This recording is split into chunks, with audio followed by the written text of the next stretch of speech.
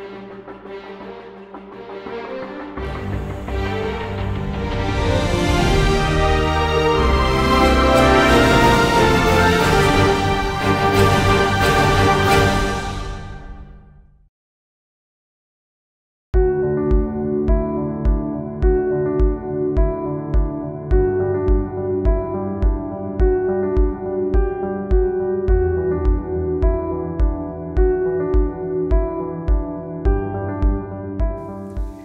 Bueno, hemos venido hablando de una serie de temas eh, que tienen que ver con la vida del cristiano, la vida cristiana en sentido general. Y hemos visto cómo eh, hay diversos aspectos eh, en la forma de vivir del cristiano que hacen que su vida cristiana sea pesada en lugar de ligera, como dijo Cristo que debía ser, un yugo ligero, una carga fácil. Y, y nos hemos venido preguntando cuáles son esas esos aspectos básicos que harían de nuestro caminar eh, un caminar eh, más descansado en Dios, más llevadero, más fácil, como Cristo lo, lo dijo. Y uno de esos temas que yo quisiera que habláramos hoy es el tema de la oración. Cómo la vida de oración o la no vida de oración hace que mi carga sea más pesada o menos ligera de lo que debe ser. Y y no sé si ustedes han visto eso y, lo han visto quizá en su propia vida, como en momentos donde su vida cristiana o su vida, su caminar con Dios, eh, disminuye nuestra devoción por la oración, asimismo aumenta nuestra carga. y si lo han visto en, la vida de las ovejas, ¿qué, les ha parecido? ¿Qué ha sido, ¿Cuál ha sido su experiencia en ese sentido? Bueno, yo creo que sería, sería difícil imaginarse que Cristo diseñó una relación con Él para cargarnos más. Sería como contraproducente.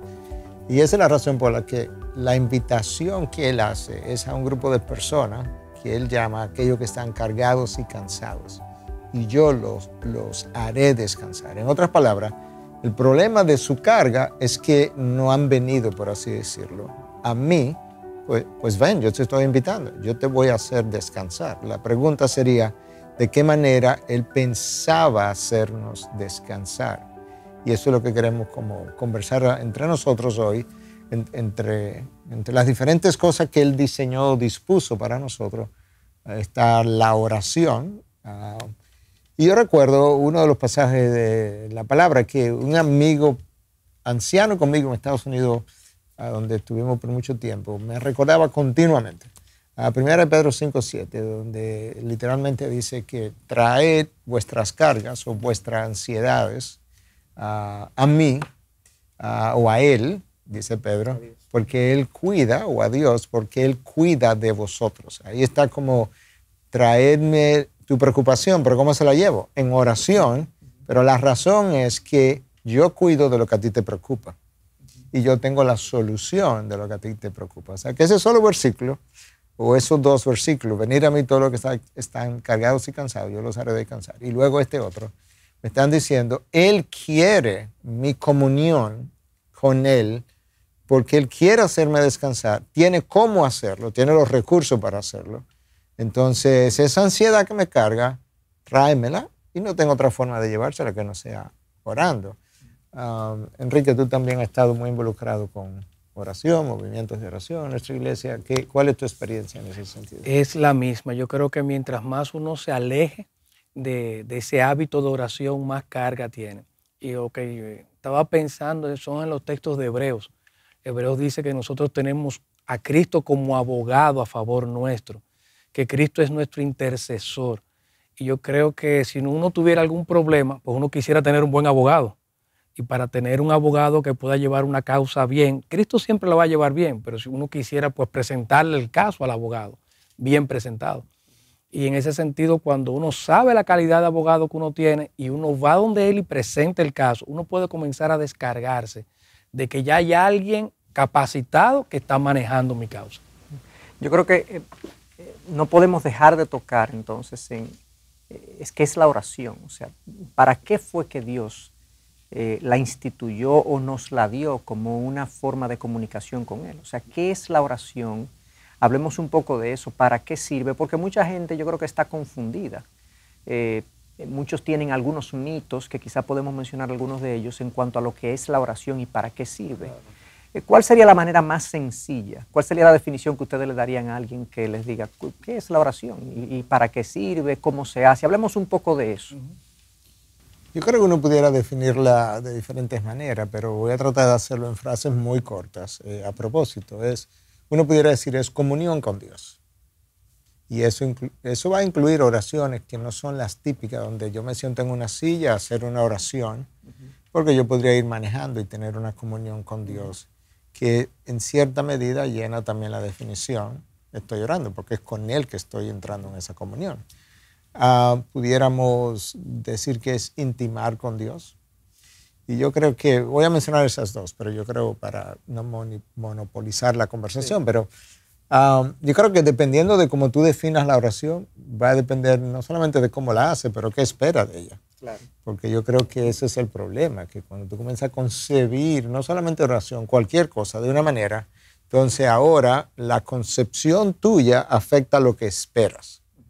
Ah, y yo creo que ahí es donde está el problema de, mucha gente. No sé qué otra... ¿Cómo tú lo definirías, Enrique? Yo recuerdo mis primeros días en la fe, eh, en escuela dominical, que me definían oración como conversar con Dios. Y a mí siempre me ha gustado como esa definición, porque es muy sencilla, pero muy descriptiva. Es una conversación con Dios. No tengo que buscar palabras rebuscadas o conceptos muy elaborados, sino derramar mi alma delante del Señor, como se muestra en los salmos. Como decía Miguel, hay, hay mucha gente que tiene conceptos de la oración y definiciones en su mente que hacen que su vida de oración sea muy monótona, muy rutinaria.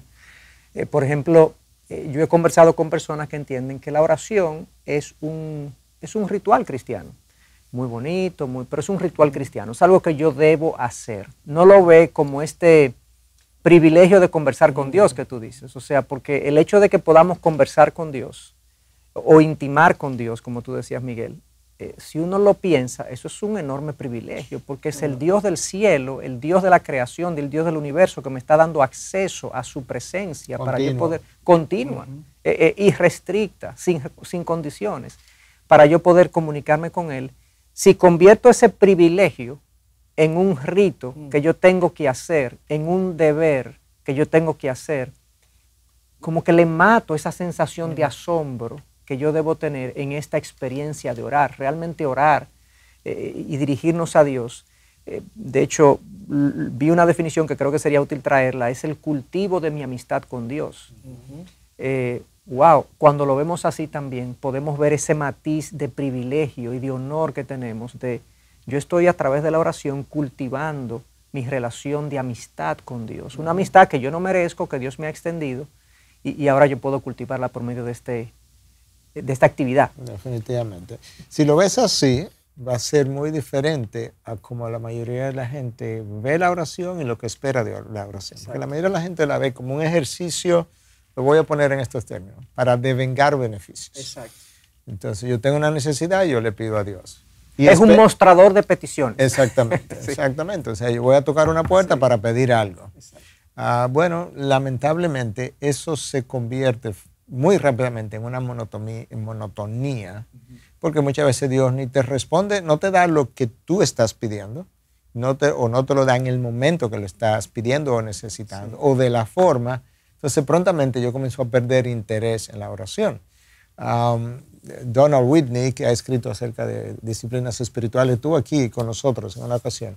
Ah, él dice en uno de sus libros y en alguna de sus charlas ha dicho que la gente se cansa de orar ah, rápidamente porque la gente ora las mismas cosas acerca de las mismas cosas. Entonces, cuando tú oras las mismas cosas acerca de las mismas cosas, pues muy rápidamente eso se vuelve como muy no solamente rutinario, está viejo, ya es, ya es viejo, ya perdió el sabor. Y de ahí entonces la motivación a orar la palabra, como que a entrar a un salmo y orar quizás lo que el salmista está orando en un momento dado, pero buscar la aplicación que eso tendría a mi vida. Pero yo creo que eso es importante, cómo consigo la oración, qué descripciones yo tenía, ya sea definidas en palabras o entendimiento, que no es bíblico, deshacer todo eso. Exacto para poder entrar en una mejor, un mejor entendimiento y por tanto un mejor beneficio de algo que hasta Cristo fue beneficiado al hacerlo. Así es. Eso me trae a mí a la memoria un pasaje de, los evangelios donde el Señor dice, mire, cuando ustedes oren, no oren como los paganos, que, entienden que por su vana palabrería van a ser escuchados. Y muchas veces uno entiende eh, ese, la oración como lo ven los pueblos que no eran cristianos, que no son cristianos, o fuera de la concepción de Dios, eh, como nosotros lo entendemos que es una relación como con un ídolo o una deidad que me va a bendecir por algo. Entonces, mientras mejor sea mi propuesta, mi sacrificio, mi, palabrería, las veces que la repita, lo que sea, pues mejor me va a ir, ¿no? Es un concepto como muy animista. Sí, así es. Y realmente no es así el concepto cristiano. No, de hecho, pudiéramos quizás, eh, habiendo dado algunas definiciones de la oración, eh, hablar un poquito de eh, prácticas que hacen de la oración una monotonía, que, le, que desproveen a la oración del poder y de la cercanía que nos da a Dios. Eh, ¿Qué es lo que la gente hace mal? Porque Cristo, de hecho, en Mateo, en el Sermón del Monte, Mateo del 5 al 7, nos habla de la oración y Cristo tuvo varias observaciones en la práctica de orar de los judíos en ese momento. Cristo reprende las vanas palabrerías, como tú dijiste, la gente decía cosas por decirlas. Una y otra vez. sin pensar, vanas, exacto, repeticiones también, una y otra vez, sin pensarlas, sin interiorizarlas. Habían otros que hacían su oración para ser visto por los hombres, como que los hombres son mi audiencia y, en algún alguno que otro momento eh, todos hemos pecado de haber orado más para los hombres que para Dios, eh, queriendo como impresionar a los que escuchan, eh, cuando la audiencia de la oración es Dios principalmente. Pero hablemos un poquito de eso, porque eh, hay muchos también que ven la oración, como decía, como este rito, este ritual, que lo hago cada cierto tiempo. Entonces, si no tengo un lugar específico para orar, pues no oro. Y como que reservan la oración, la práctica de y una hora. Una hora, un lugar, y le ponen ciertas, ciertas eh, eh, medidas o, estrictas para que yo pueda orar, y entonces su vida de oración se apaga, porque entonces creen que lo tienen que hacer de una manera específica.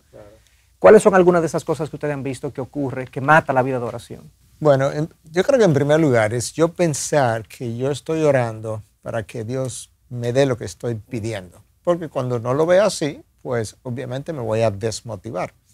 Cuando yo comienzo a entender que la oración no es para que Dios haga mi voluntad, sino para yo entrar en sus propósitos. Y uno puede ver eso en la vida de Cristo. O sea, él está en Getsemaní, es quizás el momento que él pasó horas antes en el aposento alto con los apóstoles, que, que ahí él oró al Padre, eso debe haber sido tremendo. O sea, ¿Te refieres a Juan 17? A Juan 17, exactamente. Que sería bueno que aquellos que no están familiarizados lo lean. Y aún si están familiarizados, lo vuelvan a leer. Ahí hay una conversación intertrinitaria, el Hijo con el Padre. O sea, Dios hablando con Dios, Dios orándole a Dios. Ese es, ese es un momento importante. Pero luego el pasaje de Getsemaní, para ilustrar lo que, lo que la oración se supone que sea, que no es para que Él haga mi voluntad, sino para entrar en sus propósitos. Entonces, Dios Hijo encarnado aquí, representándome a mí en cierta medida, le dice al Padre, yo no quiero que tú hagas mi voluntad. O sea, yo no estoy llorando. Él se la pidió. Él se la pidió, pero, te dejo saber, yo quisiera que esta copa pase de mí. Pero yo estoy aquí para hacer tu voluntad. O sea, el Hijo está orando para que el Padre, él como, como ser humano, y el Padre ya actuando en su función de Dios, le ayude a entrar en los propósitos, le ayude al Hijo a entrar en los propósitos del Padre. El Hijo está pidiendo eso. Yo estoy aquí para qué cosa? Yo estoy aquí para hacer tu voluntad, que se haga tu voluntad y no la mía. Bueno, pues yo debo traer a sí mismo mis peticiones a Dios. Y al final yo tengo que decirle al Señor, Señor, mira, con todo esto que yo te he presentado, dame sabiduría, dame entendimiento, dame sensibilidad, porque yo lo que quiero es tu voluntad para todas estas situaciones que hemos hablado. Con esto cierro esta parte, pero Spurgeon decía, Dios no va a responder tu oración siempre que tú hagas, le hagas una petición, pero Él siempre va a responder la oración que debiste haber hecho. es cierto, Entonces, Dios me va a dar algo que es mejor que lo que yo pedí, que si yo hubiese tenido todo el entendimiento que Él tiene, eso es lo que yo hubiese pedido, y Él te va a dar siempre, Él siempre va a responder, o la oración que tú haces, o la que debiste haber hecho. Entonces, no me puede ir mal nunca cuando estoy orando. Eh, Enrique, ¿tú, tú has visto personas, has tenido contacto con algunas ovejas cristianos que piensan de la oración como si fuese, es el momento donde yo le reclamo a Dios ciertas cosas, o donde yo le, yo le pongo a Dios claro cuáles son mis peticiones, porque el que ora con fe obtiene lo que pide, ¿verdad? y, hacemos uso de ese pasaje como que eso es un cheque en blanco. Pide lo que tú quieras, que Dios está ahí para respaldarte. Sí, eh, yo creo, como estaba, como mencioné hace un rato, yo creo que eso viene mucho de una concepción animista, que cuando uno piensa en animismo, uno piensa como necesariamente una tribu, en la selva, etcétera, etcétera, pero realmente la mayoría, creo que estaba leyendo en estos días que más del 80% de la población tiene un trasfondo animista. Nosotros creemos, por ejemplo, en, el más allá, en que existe una dimensión espiritual, ¿verdad? Que nos tenemos que relacionar con ella a diferentes niveles. Entonces, ¿qué resulta? Uno entiende como que dentro de esa concepción animista, muchos tenemos una herencia, un trasfondo como de poder, de, que a través de, este intercambio con, la, con, los misterios o con, o con este mundo sobrenatural, nosotros podemos controlar este mundo material. Eh, eso nosotros lo podemos traspasar a nuestra vida cristiana de alguna manera. O sea, en la medida en que yo puedo eh, eh, pedir, reclamar, demandar, eh, incluso hasta con un trasfondo metafísico, ¿no? Mira, mis palabras tienen un poder, que tiene un trasfondo metafísico, tienen poder de yo poder conseguir esto, pues entonces puedo tener un mejor control de esta dimensión material con el favor de esta dimensión espiritual. Pero es algo meramente animista, no, no, no creo que tenga un trasfondo cristiano bien visto. es verdad que Dios controla todas las cosas, pero Él es soberano. Así es. Nosotros tenemos que darle su espacio de alguna manera. Bueno, ese pasaje que, al que Miguel hace referencia de ese encuentro de Cristo con su Padre en Getsemaní, eh, habla muy contundentemente que la oración debe hacerse con total sujeción a la voluntad soberana de Dios. O sea, yo expreso mis peticiones, mis inquietudes, mis ansiedades, todo lo que yo soy. Pero al final yo debo sujetarme a lo que Dios decida. Dios es quien tiene la última palabra sobre la situación que yo esté pasando.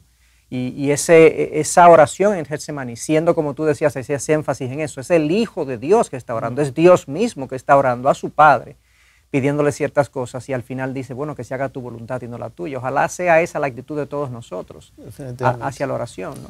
Pero fíjate, ese concepto de sujeción, yo no sé por qué se nos hace tan difícil por lo siguiente. A veces, un ejemplo de, de algunas conversaciones que yo he tenido contigo, yo voy donde ti, tú eres economista, yo no, y te converso algo, que a veces trata de la situación nacional. Y después que yo termino de darte una idea, te digo, bueno, en realidad tú sabes más de eso que yo, o sea, que, ¿cuál, cuál es tu opinión? Y entonces, mi idea es que como tú eres economista, cuando tú me des una opinión sobre algo, yo como que voy a abrazar eso, porque yo de eso no sé. Entonces, yo no sé por qué es tan difícil hacer eso con Dios, porque si hay alguien que sabe de todo, todo, es Dios. Entonces, ¿cuál es el problema con sujetarnos al entendimiento que Dios tiene de las cosas? Y yo creo que muchas veces el problema es que yo quiero lo que yo quiero. Mm cómo yo lo quiero, cuándo yo lo quiero, en la forma que yo lo quiero, pero no necesariamente la voluntad de Dios. Entonces, la oración requiere, o sea, la riqueza de la oración y mi disfrute de la oración va a requerir, lo estoy pensando ahora de esta manera, pero de verdad que como que lo puedo ver, un espíritu de sumisión. Porque si yo no tengo un espíritu de verdadera sumisión, esa oración no va a ser rica, ni poderosa, ni me va a alimentar, ni la voy a entender, es más, quizá ni la voy a querer, porque si voy a orar tanto para no obtener nada de lo que estoy pidiendo, pero tú puedes ver cómo el resto de lo que la palabra misma nos manda a ser, lo que yo debo ser, en este caso, tener un espíritu sumiso, cómo afecta múltiples áreas de la vida cristiana, incluyendo la oración. Ese, es un elemento clave que el pastor ha tocado, que es el, la falta de discernimiento en que nosotros nos estamos acercando a un Dios soberano. O sea, muchas veces uno tiene la oración como si fuera un intercom.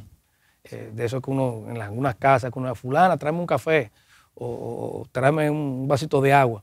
Entonces, esa es como la relación que uno tiene con Dios en la oración y no es así. O sea, es un Dios soberano que nosotros nos estamos acercando, trayendo peticiones que Él responderá conforme a su voluntad. Hay una, eh, bueno, todos conocemos la oración modelo, eh, que Jesús cuando le pidieron los discípulos, Jesús, enséñanos a orar. Él comenzó diciendo, bueno, cuando oréis, díganlo o háganlo de esta manera. Como un modelo, no es que recitemos las expresiones que ahí están presentadas, sino que estas son las, los componentes de una oración sana. Y a mí me, me llama la atención que la primera expresión es Padre nuestro que estás en el cielo. Esa expresión a nosotros nos resulta muy normal hoy en día. El Padre nuestro, el Padre nuestro que estás en los cielos. Desafortunadamente nos resulta muy normal. Sí, muy normal, pero nosotros sabemos que fue chocante para los judíos que Dios, que Cristo dijera que a Dios nos dirigiéramos como Padre nuestro. Hablemos un poquito de eso, de qué tan confiado entra el Hijo de Dios a la recámara de Dios a orar. Ese concepto de Padre nuestro. Eh, eh, hablamos de que debe ser, la oración es un ejercicio humilde, sometido a la soberanía de Dios, pero es un ejercicio también confiado eh, en este Padre que nos ama. Y tú mencionabas el pasaje de Pedro, que Él atiende nuestras necesidades. Hablemos un poco de eso, porque es importante. Para los judíos fue extremadamente chocante, como tú mencionabas, el hecho de que Jesús se, se dirigiera al Padre directamente como padre, porque de hecho no hay registro, estoy casi seguro de lo que voy a decir, no hay registro ni en la Biblia ni fuera de la Biblia, de la cultura hebrea, donde nadie se dirigiera a Dios como padre de manera directa. Hay ideas en el Antiguo Testamento de Dios es el padre de los hombres, un ejemplo. Sí, esa idea como en tercera persona. Pero de yo sentarme y dirigirme a Dios como padre, eso no está, estoy casi seguro de, lo que, de eso que dije, que ni siquiera fuera de la Biblia existe en lo que, son lo que es la literatura hebrea de la época. Y de repente aquí viene Cristo y no solamente padre, Abba, padre. O sea, es como papá o... mi papi. Mi papi, o sea, esa expresión de intimidad. Que yo creo que si ellos tenían como los ojos cerrados, cuando ellos oyeron eso, probablemente algunos abrieron los ojos y lo vieron como, como así, como, ¿cómo? Porque ellos no estaban acostumbrados a eso. Entonces, realmente esto fue revolucionario y le estaba dando la idea a ellos de que esto es, esto es algo diferente a lo que ustedes conocen, pero es un ejercicio de intimidad, de intimidad con la persona que realmente desea intimar contigo, más de lo que yo quiero intimar con él, literalmente. Es Dios que ha diseñado esta intimidad. Y por eso que en el libro de Hebreos, al que tú hacías alusión, Enrique, más temprano, ah, hay una invitación a que nos acerquemos con confianza al trono de la gracia. O sea, ven, yo te estoy invitando, yo quiero que tú estés aquí para que conversemos. Entonces, definitivamente. Bueno, nosotros los que tenemos hijos, eh, sabemos lo que es eso. Eh, cuando un hijo nos convoca a hablar, nosotros como que sí, mi hijo, ¿qué tú quieres? O sea, ¿de qué tú quieres hablar? Eh, nosotros somos padres imperfectos, finitos, con un amor imperfecto. ¿Cuánto más nuestro Padre Celestial? Si un hijo me convoca, papi, quiero hablar contigo, uno como que está presto, solícito. De hecho, yo quisiera que mi hijo me dijera más frecuentemente, quiero hablar contigo. Yo, yo anhelo eso, porque yo quiero intimidad con mi hijo, yo quiero conocer a mi hijo, yo quiero que él descanse en mí, me conozca y yo conocerlo a él. Cuánto más nuestro Padre Celestial, que es un Dios perfecto en su amor y, que no tiene sombra. Y, si tu hijo te dice eso, perdón, eh, si tu hijo te dice eso, tú quieres esa conversación, pero tú sabes que lo que van a hablar, tu hijo necesita esa conversación más que tú. Claro. o sea, que, estemos con el Señor. O sea, yo quiero que tú vengas, pero tú necesitas más que yo, pero ven para que hablemos, de manera que... Así es. Cuando ustedes hablaban, a mí me venía a la mente Éxodo 20 porque ustedes estaban hablando de la importancia de lo que es esa relación que Dios quiere tener con nosotros. Y en Éxodo 20, antes del Señor decirle los mandamientos al pueblo, le dice, yo soy Jehová tu Dios que te saqué de la tierra de Egipto. O sea, quien te hizo bien fui yo. Ahora mira lo que yo deseo que tú hagas para que te siga yendo bien. Y en el Padre nuestro hay como una, una secuencia parecida. Antes de santificado sea tu nombre, de que tú veas la grandeza de ese Dios al quien tú te vas a acercar, lo primero que viene es la cercanía. Padre nuestro. O sea, primero esa relación, esa intimidad, y después entonces viene el asombro de a quién yo me estoy acercando. O sea, que si nosotros vemos la oración, como lo hemos descrito, como un privilegio, un honor que se nos abre el trono de la gracia, es una forma de cultivar mi amistad con Dios. Es una forma de yo acercarme a mi Padre Celestial que quiere esa, esa conversación, esa comunión conmigo. Eso elevaría, digamos, en la mente de muchos esta esta práctica de la oración. Y más que una disciplina y ritual, lo veríamos como una, un sublime regalo, un noble regalo de parte de Dios para nosotros. Si eso es así, ¿por qué es que muchos cristianos no, bueno, quizás su concepto errado, pero hablemos un poco de por qué es que muchos cristianos eh, no hacemos uso de la oración como lo que es, como un instrumento de gracia para nosotros acercarnos a nuestro Padre y tener comunión con Él, intimar en, amistad con Él.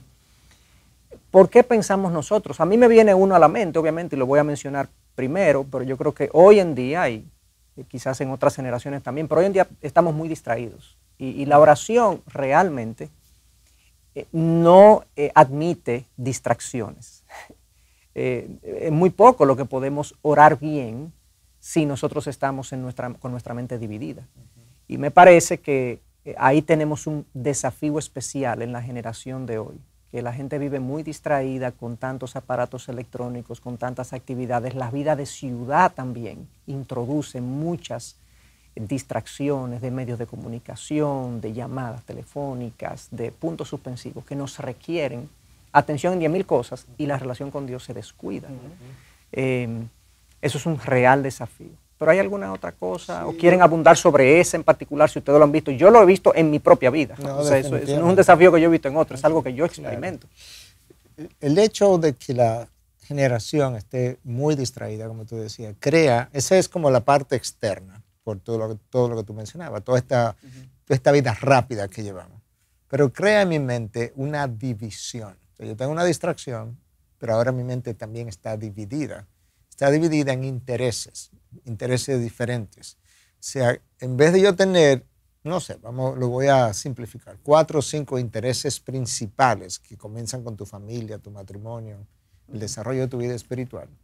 Pueden ser muchos más, pero una ilustración. No, ahora yo tengo 18 cosas que todas ocupan como el primer lugar de No, porque eso es importante. Eso es igualmente importante. Y eso también es igualmente importante. Entonces yo, las, yo las quiero todas en el mismo orden de importancia, pero es porque mi mente está dividida. No es simplemente que estoy distraído afuera. Yo tengo una división de la disposición interna de mi espíritu acerca de mis deseos, pasiones, persecuciones, a las cosas que persigo. Todo eso crea un problema a nivel de la oración porque así mismo yo entro a la oración. Yo entro, porque aún si me cerré en la habitación, entré distraído por lo de afuera y dividido por mi disposición interna. Así como que no se puede, eso es uno. Entonces, y, ahí cierro esta parte de nuevo de, esa conversación que estamos teniendo en, torno a esto. nosotros tenemos una generación, y quizás esto también ha ocurrido en el pasado, pero creo que sea acentuador, poco espiritual. Y realmente se hace difícil orar si tú no eres una persona espiritual. Cuando yo digo espiritual, eh, o sea, poco espiritual, bueno, vive, tu mente vive muy aquí abajo, muy en lo material, en el aquí y el ahora, lo que yo quiero, deseo, que está de este lado de la gloria.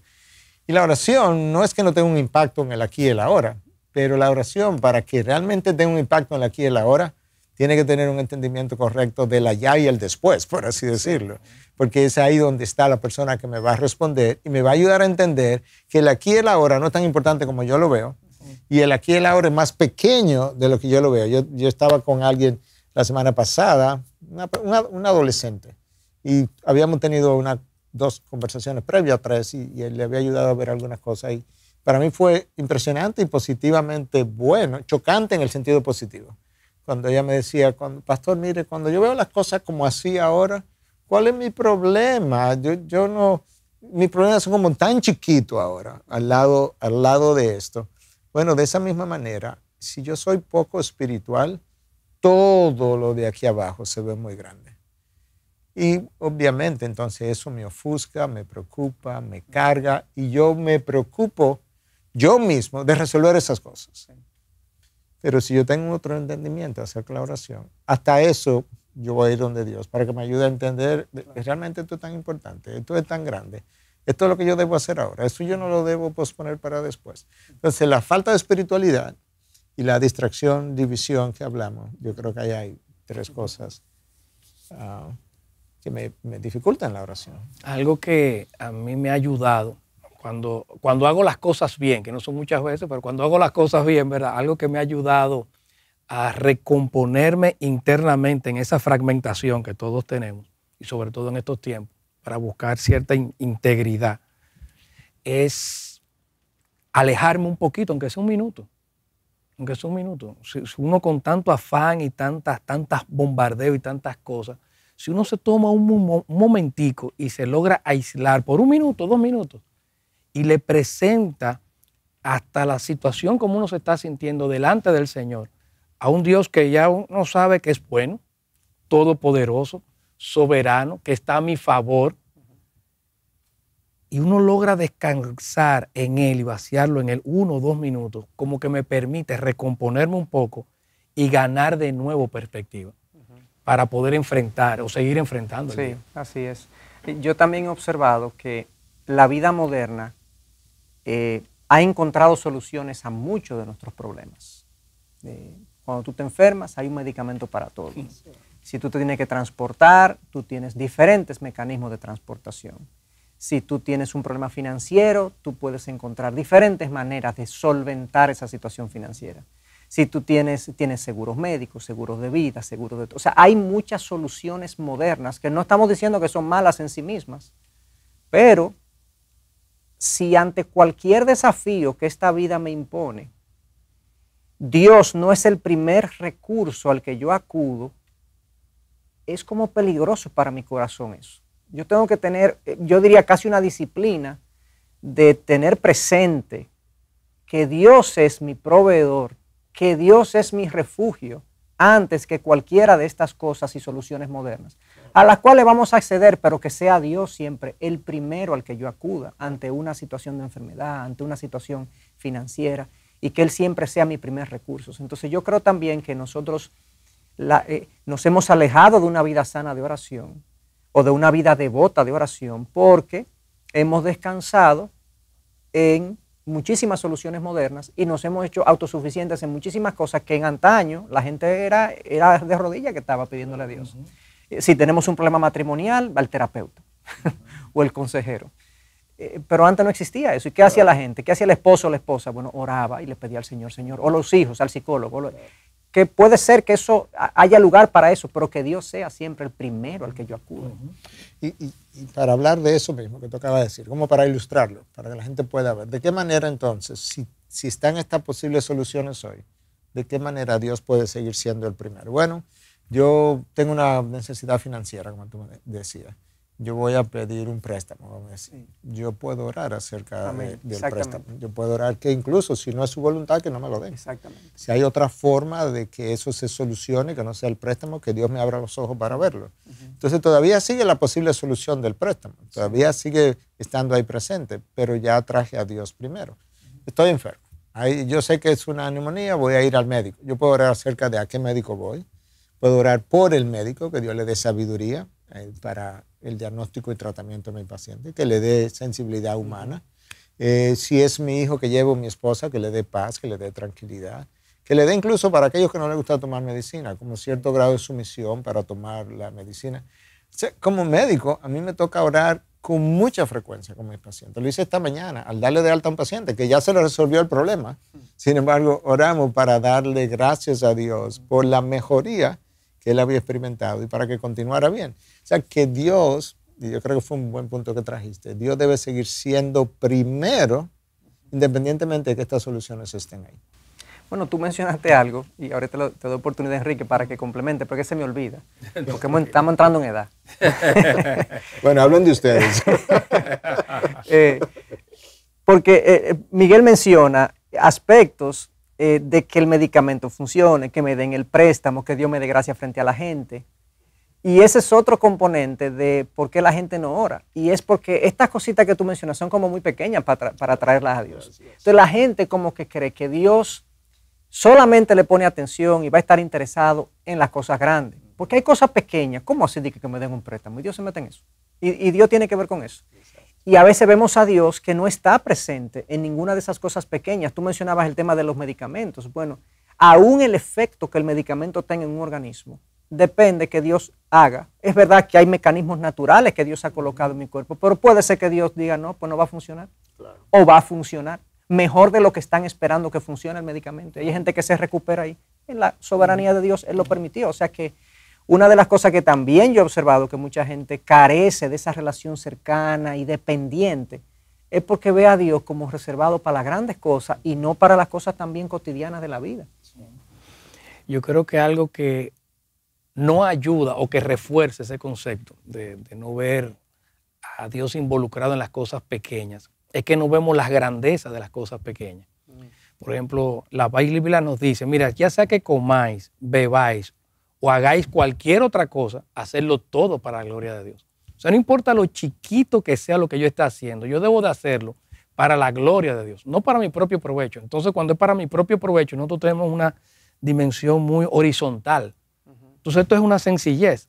Pero si, me, si yo voy, la veo como debe de ser, o sea, que eso, esto chiquito debe de glorificar a Dios. Entonces, Señor, la parte vertical, dame sabiduría para saber cómo esto puede glorificar tu nombre. Y yo me puedo sentir descargado en esa sencillez, pero que va a traer grandeza al nombre de Dios. Tú sabes que Enrique decía, y me gustó esa frase, pero yo la voy a decir al revés ahora para verla de otra manera. No vemos la grandeza de las cosas pequeñas. ahora yo lo voy a decir al revés. No vemos la pequeñez de las cosas grandes. sí, porque delante de Dios. Delante de Dios todo en pequeñez. Entonces hay una historia de una señora, una historia verdadera. Donald Barnhouse fue uno de los pastores muy memorables de una iglesia muy memorable en, Filadelfia que se llama la, décima iglesia eh, presbiteriana o presbiteriana de Filadelfia, 10th Presbyterian Church. Muy famosa esa iglesia. Y, famosa por una serie de individuos que se dieron como pastores uno detrás de otro. Bueno, uno de ellos, Donald Barnhouse. Se cuenta que una señora vino al final de un culto un día y le dice, justamente lo que tú mencionabas. Eh, pastor, ¿usted piensa que debemos orar por las cosas pequeñas? Uh, ¿Debemos traerle eso a Dios? Y entonces él era como muy característico, muchas veces como respondía, él siempre tenía unos lentes, entonces él como que se lo quitaba y se quita su lente y la mira y dice, señora, ¿usted conoce algo muy grande para Dios? Todo lo que usted le vaya a traer. Es pequeño, para pequeño. Un dolor de cabeza y un cáncer tienen el mismo tamaño para Dios. Lo único que Dios tiene que hacer es desear intervenir en uno o en el otro y se acabó el problema. Entonces, por eso decía que lo iba a tomar al revés. No vemos la pequeñez de las cosas grandes, porque Dios, Dios no tiene tamaño para, las cosas no tienen tamaño para Dios. Eh, y en ese sentido, tengo que tener una fe de niño, como Cristo mencionaba.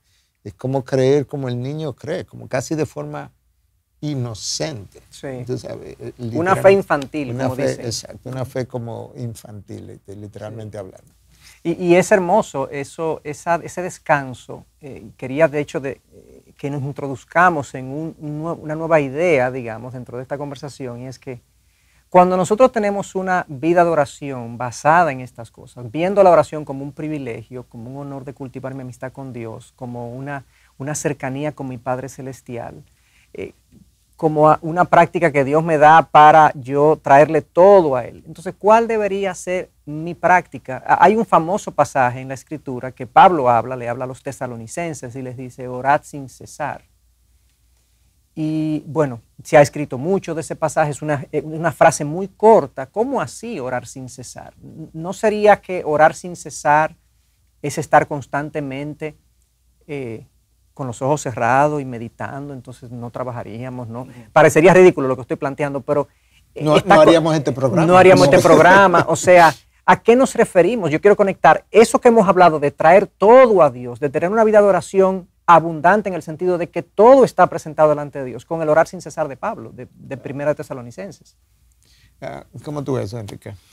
Yo estaba pensando en dos frases que tenían cristianos antiguos, lo de corandeo, o sea, de uno tener la conciencia de que está viviendo delante de Dios en todo momento. Era lo que decía Elías, por ejemplo. Jehová en cuya presencia estoy. Pues, más bien, en vez de uno estar con los ojos cerrados, manejando con el peligro de chocar, o sea, estar consciente en ese momento de que uno está en la presencia de Dios y poder conversar con Él.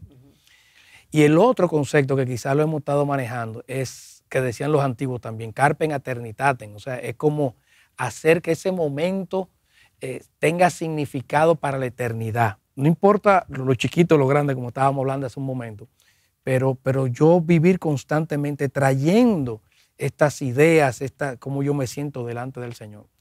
Hay un libro que, escribieron, bueno, un par de autores, un autor tomando una idea, una carta de unos viejos que practicando su presencia, que era de Frank Laubach y, el hermano Lorenz, creo que le llaman.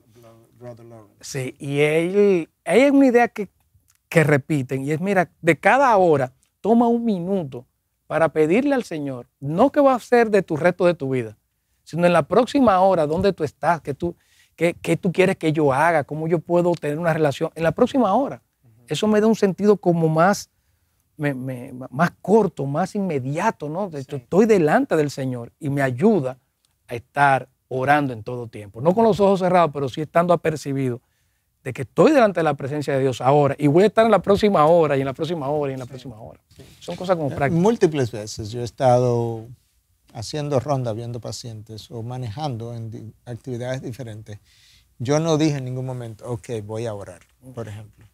Pero yo estoy consciente al regresar a mi casa que muchas veces era lo que yo estaba haciendo, porque yo estaba haciendo una especie de reflexión corandeo, entendiendo que estaba en la presencia de Dios. Y mi reflexión no fue puramente humana. Yo estaba reflexionando con la disposición interna, como que Dios me ayudara a entender esto. Bueno, si tengo esa disposición interna de que Dios me ayude a entender esto, es una especie de oración, porque estoy en comunicación con Dios. Hay el, hay el, el tipo de oración que requiere que tú te aísle, el silencio, lo que tú quieras. Estamos descontando eso. Lo que estamos diciendo es que si vamos a orar sin cesar, tenemos que estar más apercibidos de las cosas que mencionaste. Estoy en la presencia de Dios y por tanto Dios me está oyendo continuamente. Entre un paciente y otro, yo muchas veces, eso me toma un minuto, menos de un minuto cruzar. Y a veces yo he hecho una oración así de corta. Pudiera ser, Señor, ábreme una puerta con Enrique y abro la puerta y entro a su habitación para poder tener esa oportunidad de poderle hablar a él de, de Dios o de cualquier cosa. Entonces yo creo que a veces esa concepción que tenemos de la oración, que es como dos por dos solamente. Correcto. No puede ser. Que, que la hacemos como un compartimiento de la vida que se hace en la mañana. Yo oré y salgo a vivir. Exactamente. y Dios quiere que nosotros vivamos orando. Exactamente. Eh, y oremos mientras vivimos. Eh, es una forma de tener a Dios presente. De hecho, la tecnología hoy en día, eh, tenemos todos tabletas, celulares, computadoras, tienen procesos tú estás trabajando en una aplicación y detrás de esa aplicación hay procesos que están corriendo al mismo tiempo, que el equipo necesita para mantener diferentes cosas, diferentes funciones. Eh, eso es como la oración sin cesar a la que Pablo nos llama. Es como tú estás atendiendo pacientes, tú estás hablando con un hijo, tú estás o haciendo ministerio o yo haciendo cualquier labor y yo estoy eh, detrás, en el backstage, detrás en mi mente también, orando pidiéndole al Señor gracia, sabiduría, misericordia por ese paciente, por esa persona, por lo que estoy haciendo, de tal manera que Dios esté presente en toda nuestra vida. Entonces es, vemos ya que la oración no es una práctica que hacemos, como tú dijiste, que no es que eso no tiene su lugar, porque vimos a Cristo apartarse constantemente en las mañanas, a veces en las noches, a orar de manera dedicada y exclusiva, hablar con Dios. Pero luego cuando salimos a vivir, tenemos que tener esta práctica de orar sin cesar constantemente, estar descansando y dependiendo de Dios. Claro. Bueno, en estas conversaciones que hemos estado teniendo, incluyendo las de hoy, a veces yo he estado escuchando a Enrique o a ti, hoy mismo, y yo he estado literalmente orando, pidiendo, Señor, dame sabiduría sobre eso que, que tú estás diciendo, a ver de qué manera yo puedo contribuir o, o, contestar una pregunta, una inquietud que tú estás trayendo, de una forma que encaje con lo que tu palabra dice, de una manera que eso, eso, nadie se percató de eso. Y yo estoy oyendo la pregunta, yo estoy oyendo la conversación. Y detrás hay otro proceso, como tú decías, en el sentido de la computadora, donde yo estaba pidiéndole a Dios, ahí callado, que me ayudara a entender y a poder responder de la mejor forma posible. De manera que eso se puede hacer y debemos hacerlo eh, definitivamente. alguien decía, perdón, no, no, un paréntesis breve, que alguien decía que, bueno, definimos la oración como conversación con un amigo, cultivar una amistad con un amigo. Y imaginémonos que vamos eh, y, con un amigo y vamos en un vehículo y nos montamos en un lugar y estamos en un banco con un amigo y estamos con ese amigo ahí de compañero durante un día. Durante ese día que tenemos ese amigo con nosotros, vamos a estar en constante conversación y comunicación de todo lo que nos está pasando en el día, ¿verdad? O sea, es, vamos al banco, ah, mira qué, qué larga está la fila, ojalá se, ojalá se desocupe rápido y vamos a, un lugar a comprar algo y decimos, bueno, no hay, vamos a otro lugar. Con ese amigo que yo estoy, siempre mantengo un intercambio. La vida de oración, de orar sin cesar, tiene que ver con eso. O sea, Dios está con nosotros, Él es nuestro compañero en la vida, a través de su espíritu en nosotros. Yo voy compartiendo todo lo que la vida es. y, voy pidiendo su asistencia, a diferencia de mi amigo que no es Dios, él, eh, mi amigo no me puede resolver la vida, ni me, puede, ni me puede atender, ni está tan interesado como Dios lo está en mi vida. Y por lo tanto mi intercambio debe ser aún más profundo con Dios que me acompaña que con el amigo que me acompaña en el día. O sea que también lo veo de esa manera. definitivamente. Por otro lado, ahorita me venía a la mente, reflexionando un poquito mientras conversábamos, cuando uno en el, en el Nuevo Testamento, el apóstol Pablo tiene múltiples oraciones. Eh, eh, no hay un subtítulo que dice oración de Pablo, pero se sabe que es una petición eh, de Pablo. Y, y, me ha ayudado a mí a saber cómo orar incluso y a instruirme cómo orar. Pero siempre a mí me ha llamado mucho la atención las pocas veces, y de nuevo, no que esto que voy a decir no tenga un lugar, pero las pocas veces que Pablo está como orando por las pequeñeces de la vida. él, siempre está orando por cosas como que tienen, tienen una dimensión que afecta al más acá, por así decirlo, pero que tienen una dimensión que tiene que ver con la eternidad. Y yo creo que eso es importante, porque Cristo decía en el Sermón del Monte, buscar el reino de Dios primero y todas las demás cosas se darán por, por añadidura. Obviamente esa frase, buscar el reino de Dios primero, es enorme, eh, si nos pusiéramos a tratar de desglosarla, pero, o desglosarla. Pero yo creo que eso concuerda con, lo que, con la práctica de Pablo. Como que Pablo entendía que aquí hay cosas de aquí abajo por las cuales yo puedo pedir y debo pedir, pero el Señor se va a encargar, porque esas son de las, ah, todas las demás, esas son de las añadiduras. Pero hay estas otras que, tienen un impacto en estas añadiduras por las cuales muchas veces la gente no está pidiendo. Ah, yo pudiera, por ejemplo, necesitar un trabajo y yo pudiera estar pidiendo por la oportunidad de trabajo. Y bueno, lo pido y no está mal y debiéramos hacerlo. Pero a mí se me olvida muchas veces que en lo que el trabajo llega, quizás yo debería estar pidiendo por gratitud, por dependencia, por aumento de la fe, por paz, por testimonio, por tener que testificar. Pero como que esas cosas no se nos ocurre pedir. Lo que quiero es, Señor, dame un trabajo, dame una oportunidad, dame gracia. Tráeme a la mente a alguien a quien yo puedo ir y pedirle un trabajo. Entonces, no es que está mal, pero yo creo que eso está más como en las añadiduras, por así decirlo.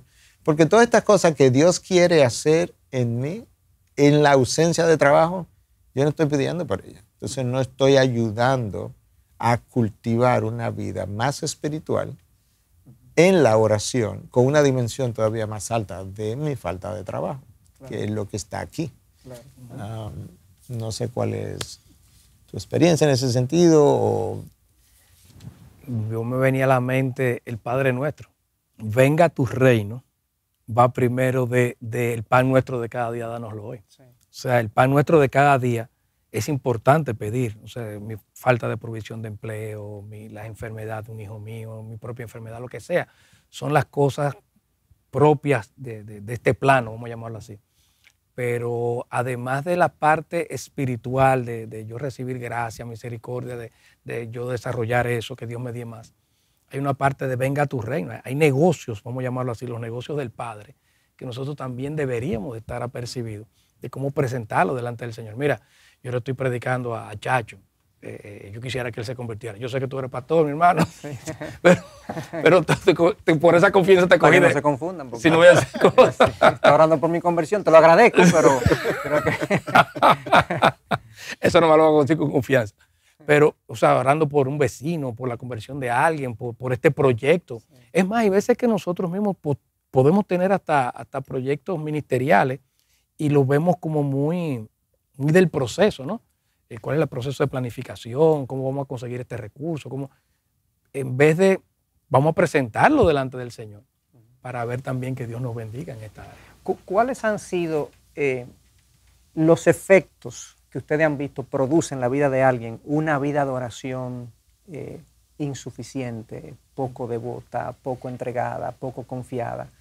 Eh, yo sé que la Biblia habla de, hay versos específicos que dicen y que describen el estado de un corazón de una persona que no ora lo suficiente. Pero hablemos brevemente de eso porque al final, ah, digamos hacia el final de este conversatorio, yo quisiera hablar, bueno, entonces, eh, algunas recomendaciones específicas de cómo debe ser nuestra vida de oración, eh, con recomendaciones particulares. Eh, y de por qué cosas orar particularmente. Pero ¿cuáles son algunos de los efectos, quizás algunos de los que nos ven y ven esto más adelante, se pueden identificar y decir, ah, no, pero yo tengo esos síntomas. Yo, tengo, yo, yo estoy experimentando eso que están diciendo. Definitivamente yo tengo una vida de oración quizás deficiente. Bueno, yo creo que una, yo, creo que puede, la lista puede ser larga, pero yo creo que esta es una frecuente y justamente creo que hay mucha gente que pudiera identificarse con esto. Poca fe. Eh, déjame mencionar varias cosas con relación a eso. Para yo tener fe, yo requiero conocer a Dios y su mejor revelación es la Biblia, estamos de acuerdo. Pero al mismo tiempo, en la fe hay un elemento de confianza en que tú estás interesado en mí y que tú me estás escuchando y que tú, cuando tú me escuchas, tú vas a responder a lo que escucho. Si yo no oro, yo nunca voy a ver nada de lo que Dios está haciendo a mi favor, porque yo no le estoy pidiendo nada, no estoy buscando nada. No veo a Dios actuar. No, veo, no veo a Dios actuar. Entonces, Santiago dice muchas veces que nosotros no tenéis porque no pedís. Ahí está la oración.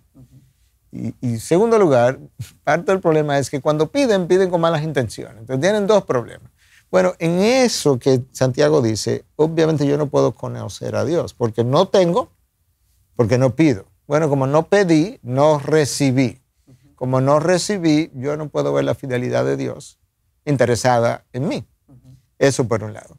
Y por otro lado, si cuando se me ocurre pedir, voy a pedir con malas intenciones. ¿Por qué? Porque estoy pidiendo por propósitos terrenales, personales, que no es la dimensión donde Dios quisiera trabajar en mí necesariamente, pues tampoco, tampoco recibo. Entonces, mi vida de confianza de que Dios responde, de que Dios es fiel, de que Dios provee, no, no puedo desarrollar esa fe en Él porque yo no permito que las condiciones de desarrollo de la fe se den, aunque lo lea en la Biblia, pero no lo veo en la práctica, lamentablemente. Entonces yo creo que la vida de fe tiene una correlación directa con la vida de oración. De hecho, y, aún más allá, el, el, libro de Hebreos, creo que es en 5.17, dice que durante sus días en la tierra Jesús oró con con, lágrimas, con y súplica y lágrimas. Y fue escuchado por su reverencia a Dios. Algunas traducciones dicen por su obediencia a Dios. O sea que durante su vida, no solamente Jesús hizo oraciones, que son como las comunes, pero suplicó, rogó, que es como la misma oración un poco más intensidad. intensa. Una intensidad, que lo llevó incluso hasta llorar. Ah, y fue escuchado. Entonces, ok, fue escuchado porque había una disposición de sumisión a su padre. Bueno, de esa misma manera, entonces yo tengo que ver a Dios respondiendo mi oración, escuchando y respondiendo para yo desarrollar esa vida de fe. Entonces yo creo que la vida de fe es nutrida por la palabra y es nutrida en la práctica en la medida en que yo intimo con Dios y veo a Dios obrar en mi vida o en la tuya o en la tuya o en el de la iglesia o en mi trabajo, en la del paciente, en la vida de mi hijo, en la enfermedad, pero tengo que ver a Dios obrar. Ah, de hecho, quizás muchos no lo piensan, pero muchas de las oraciones que verdaderamente yo la puedo hacer como espiritualmente hablando o en el espíritu, por así decirlo, sin tener que ser muy místico, es Dios que ha puesto las intenciones en el corazón para Él responderlas. Dios pone en nosotros el querer y el hacer por su buena voluntad. Entonces, Dios mismo pone intencionalidad en mí para que yo pida por algo que Él quiere darme con la intención de que yo desarrolle una mejor fe.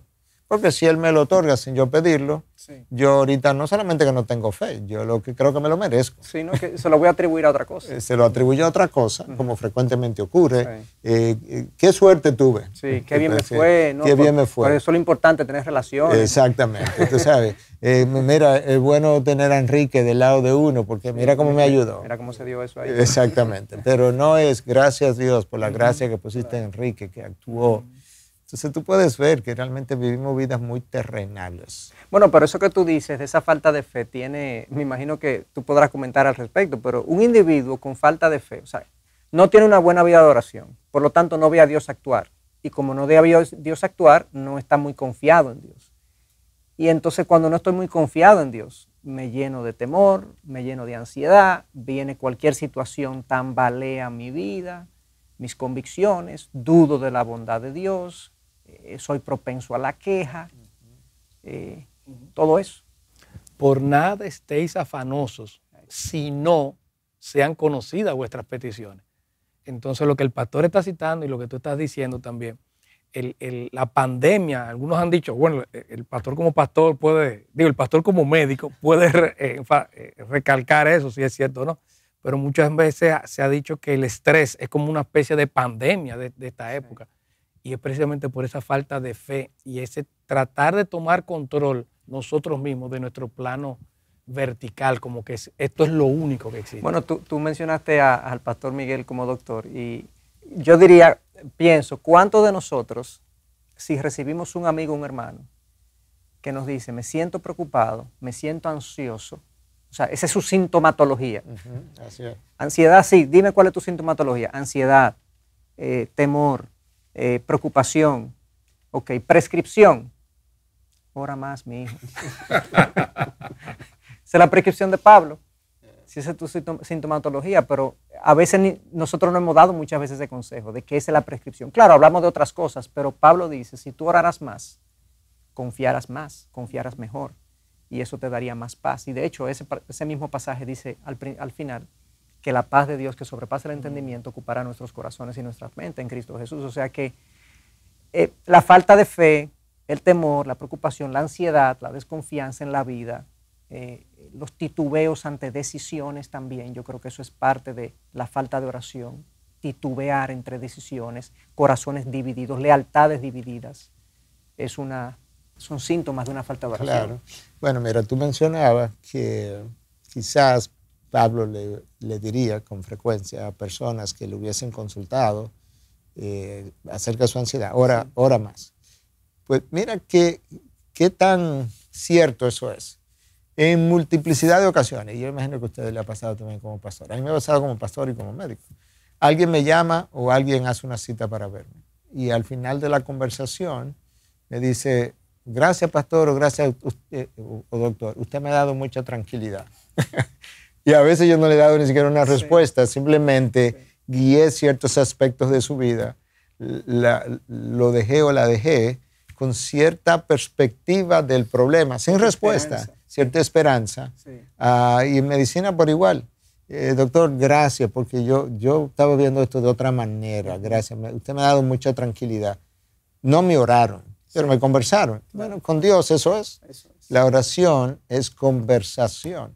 Si yo puedo darle tranquilidad a alguien, imagínate Dios. Entonces, ¿cómo hace Dios eso? Bueno, yo no sé cómo Dios ora de allá para acá, pero yo sé que Dios ha puesto el Espíritu, su Espíritu, en el interior nuestro, para que ese Espíritu, que es Dios mismo en su tercera persona, haga un trabajo que tiene que ver justamente con esa conversación que no podemos percibir, porque incluso la palabra de Dios dice que cuando yo no sé cómo orar, el Espíritu que está dentro de mí ora por mí, por eso que yo no sé cómo orar, con, con gemidos indecibles. ¿Tú te imaginas eso?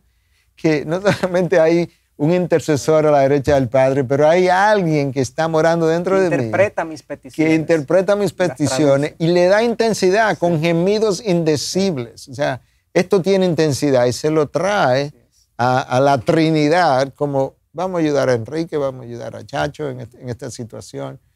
Eso es extraordinario. Y, ahí volvemos al principio inicial que tú mencionaste. La oración es un privilegio sin medida para todos nosotros. ¿Cómo entonces, ya al cierre de, esta conversación, eh, cómo recomendamos nosotros que la gente comience a caminar en una vida de oración más eh, provechosa, eh, más de acuerdo a lo que la Biblia enseña acerca de la oración. Nosotros mismos, algunos consejos que deberíamos recordar para nuestras propias vidas de oración.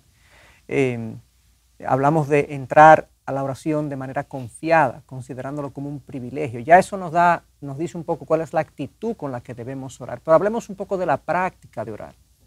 Eh, algunos consejos, dos, tres consejos que podamos darle a la gente y, y, nosotros mismos para recordar y tener una vida de oración más intensa, más viva.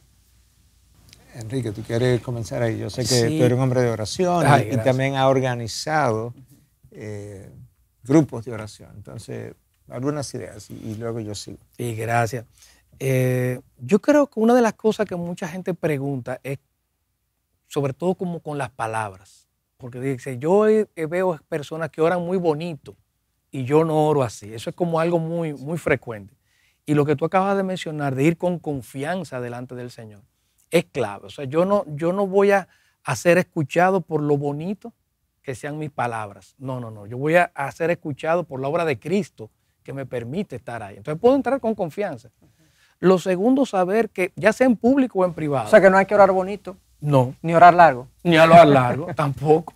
Lo segundo que yo creo que puede ayudar mucho es saber olvidarse de todo el mundo y saber, en caso de que yo tenga público, y saber que yo estoy delante de Dios. O sea, es verdad que en ocasiones yo no puedo eh, eh, abstraerme de que estoy guiando quizás a muchas personas delante del Señor, es verdad. Pero sobre todas las cosas que yo estoy delante de Dios, no delante de fulano, de perencejo, de menganejo, es delante de Dios. Y, si lo puedo visualizar, que Él está delante de mí, mejor todavía, porque me estoy dirigiendo a Él. Los tiempos separados tienen su espacio. El vivir constantemente en oración, como estábamos diciendo hace un rato, de sacar un minuto de cada hora para poner la próxima hora delante del Señor, cuando estoy manejando, cuando estoy con un paciente o viendo un, estado contable o lo que sea, Señor, dame sabiduría para... O sea, ese tipo de cosas también me permite hacerlo.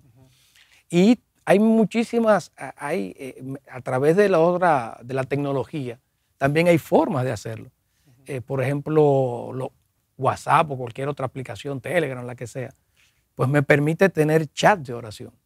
Eh, que sean dedicados a eso. O sea, mira, me está pasando esto. Yo recuerdo en un chat de oración que hay veces que yo me levanto de madrugada, eh, tengo calor, o yo no sé, me levanté por X por R y veo los mensajes. Yo recuerdo en una ocasión, como a las dos y pico de la mañana, que alguien puso, yo quisiera que alguien orara por mí, porque mi hijo tiene fiebre alta y yo no sé qué hacer a esta hora de la madrugada. Y gracias a Dios yo iba a comenzar a escribir y vi una gente que estaba levantada a esa hora que dijo, orando por ti y por tu hijo. O sea, eso a mí me gustó. Si yo hubiera sido el padre, oye, qué bueno que en algún sitio hay alguien que está orando por mí. Y hay aplicaciones que te, mandan que tú puedes orar eh, y puedes estar en contacto eh, eh, con muchos hermanos haciendo eso. Sacar un tiempo de oración en el templo también. Dice la, palabra de Dios, dice, mi casa será llamada casa de oración. Y yo puedo tener también un tiempo de oración en el templo para eso, o en hogares en fin, hay muchísimas son formas ideas. de hacerlo. Yo pienso también que la, eh, complementando eso que tú dices, eh, tener pendiente que toda circunstancia, situación que vivimos en la vida puede transformarse y convertirlo en un motivo de oración. Eh, recuerdo el pasaje de Santiago que dice, ¿hay alguno celebrando entre ustedes? Cante alabanzas. ¿Hay alguno enfermo? Que haga oración.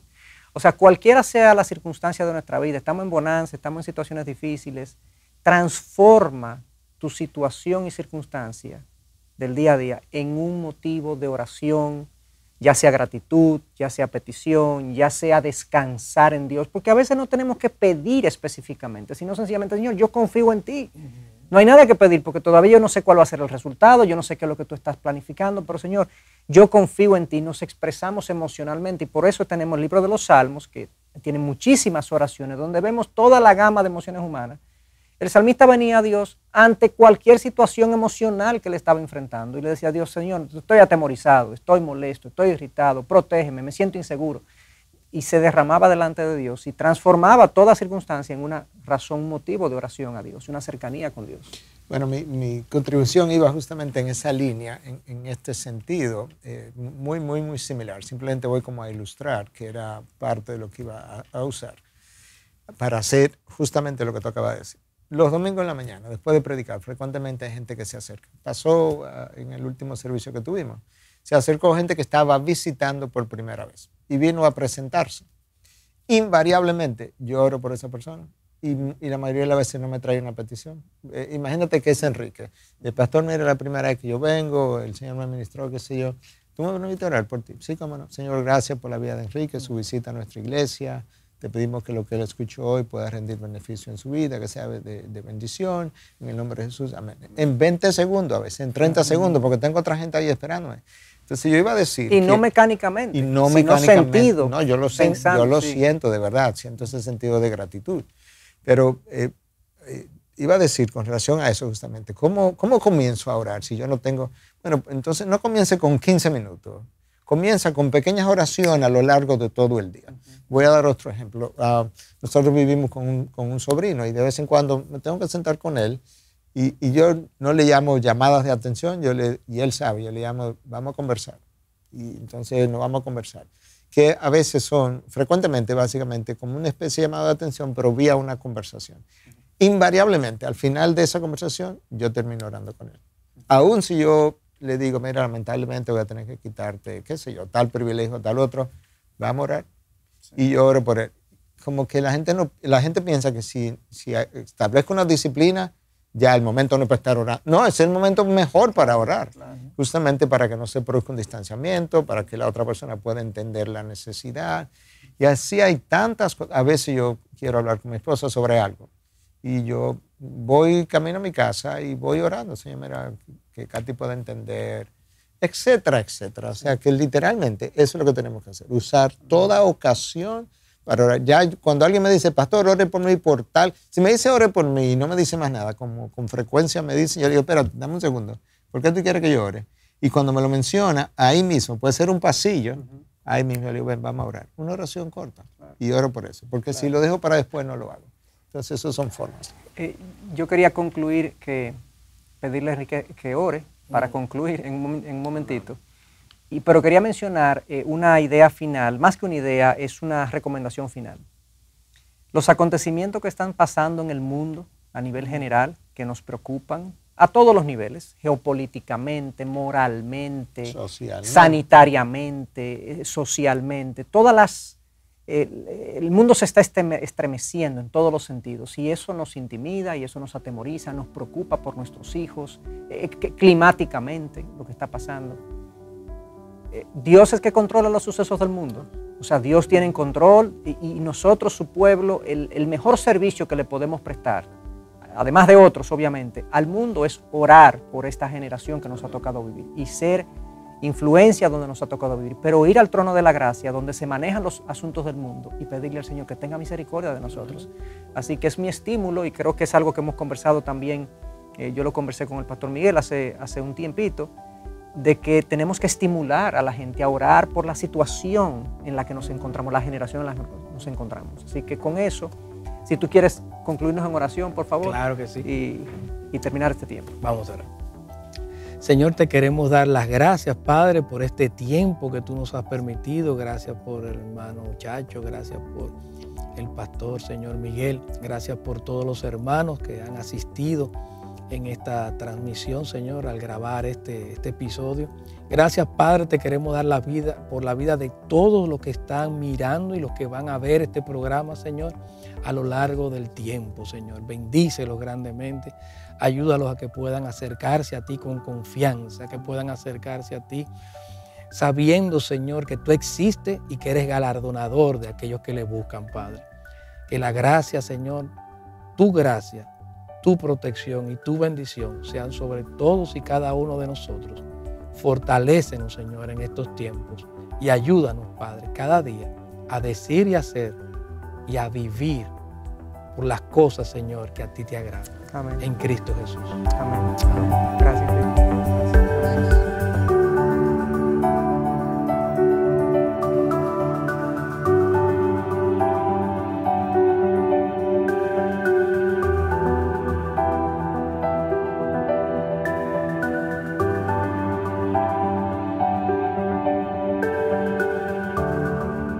Gracias por acceder a este recurso. Espero que haya sido de gran bendición para tu vida. Te sugiero que te suscribas a este canal de forma que tú puedas recibir notificación la próxima vez que hayamos subido un nuevo recurso que pueda servirte de instrucción y bendición.